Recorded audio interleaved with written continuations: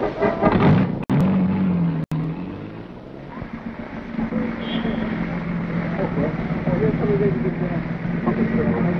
you.